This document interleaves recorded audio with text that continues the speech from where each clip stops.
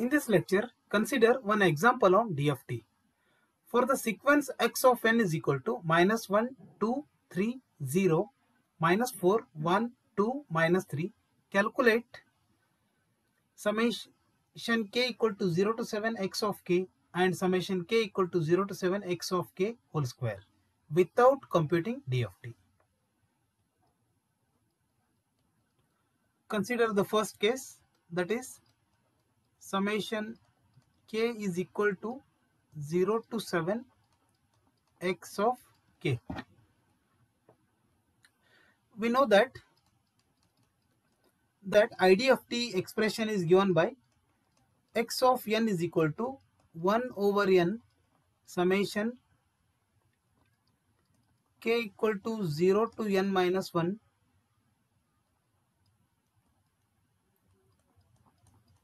x of k wn power minus nk or it can be represented as 1 over n summation k equal to 0 to n minus 1 x of k e power j 2 pi by n into n into. Here, here we can see that value of n is equal to 8. This is the starting point of n that is for n equal to 0. So we have n is equal to 8. Therefore this equation can be represented as x of n is equal to 1 upon 8 summation k equal to 0 to 7 x of k e power j 2 pi by n into n into k. So now in this expression we can see that we supposed to calculate summation k equal to 0 to 7 for x of k. So here we have summation k equal to 0 to 7 x of k. So we need to make this term equal to 1.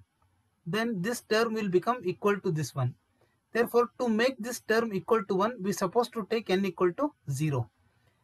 So, for n equal to 0, then this term can be represented as x of 0 is equal to 1 upon 8 summation k equal to 0 to 7 x of k into e power 0 is nothing but 1. So therefore now I can represent it as summation k equal to 0 to 7 x of k is equal to 8 into x of 0 which is nothing but 8 into x of 0 value is 1 that is minus 1 therefore summation k equal to 0 to 7 x of k is equal to minus 8 this is the required result summation k equal to 0 to 7 x of k square. Now, by using Parseval's theorem,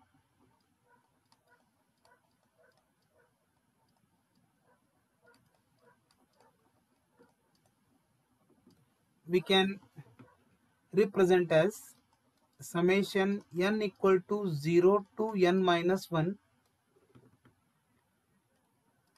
x of n square is equal to 1 upon n summation k equal to 0 to n minus 1 x of k square. This is Parseval's theorem. X of n square is equal to 1 upon 8 summation k equal to 0 to n minus 1 x of k square. So now I can write, therefore I can write summation k equal to 0 to n minus 1 x of k square is equal to 8 into summation n equal to 0 to 7 x of n square. So this is equal to 8 into x of n square that is x of 0 square plus x of 1 square likewise we supposed to write 0 to 7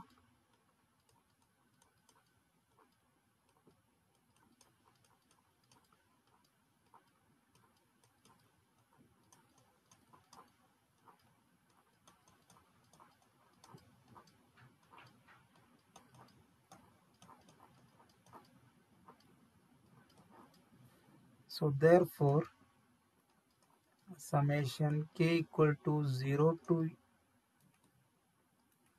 7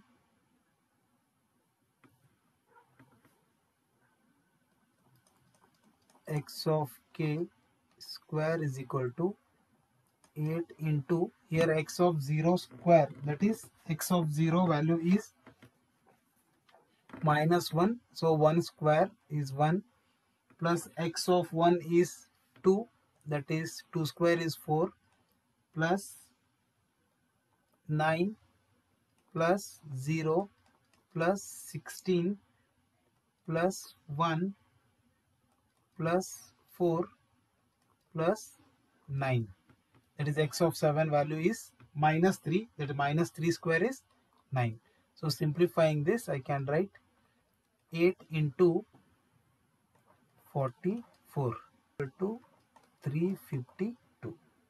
This is the required answer. Thank you for watching.